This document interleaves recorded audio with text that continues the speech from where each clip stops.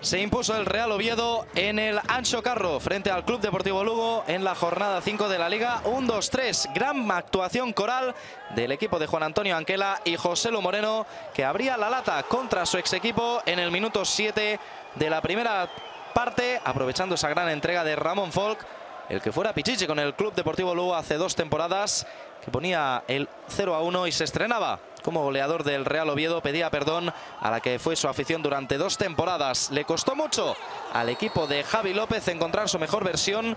Tuvo mucho protagonismo. Basil Kravets a balón parado. Gran intervención de Alfonso Herrero, ese testarazo de Carlos Pita. Arrancó la segunda parte y vimos uno de los mejores goles de la jornada. Espectacular la acción del Real Oviedo. El envío de Ramón Folk para Saúl Berjón. La dejó correr Joel Bárcenas, la entrega atrás de Joselo para el tanto de Javi Muñoz. El obetense Saúl Berjón que lo intentó desde la distancia.